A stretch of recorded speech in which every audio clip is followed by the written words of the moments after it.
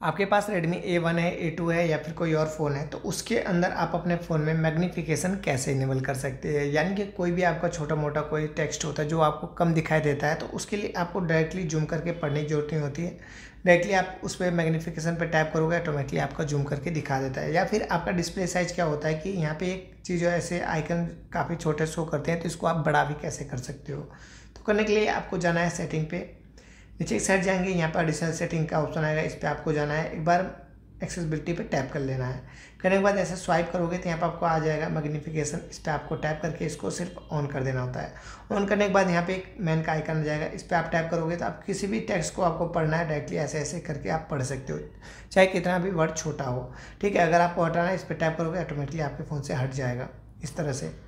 तो इस तरह से आप इसको यूज़ कर लेंगे। बाकी अगर रही बात आपको आइकन की दिक्कत आती है तो यहाँ पर आपको जाना है। यहाँ से ऐसे आपको सिलेक्ट करके कर देना होता है। तो ऑटोमेटिकली आपका ये वाले भी आइकन बढ़ जाते हैं। बाकी अगर आप छोटा करोगे तो ऑटोमेटिकली आपका आइकन का साइज़ छोटा हो जाता है। तो इस तरह से आप अपने फ़ोन में कर लीजिएगा। अगर वीडियो अच्छी लगेगी तो लाइक कमेंट शेयर सब्सक्राइब कीजिएगा। मिलते हैं नेक्स्ट वीडियो तब तक के लिए बाय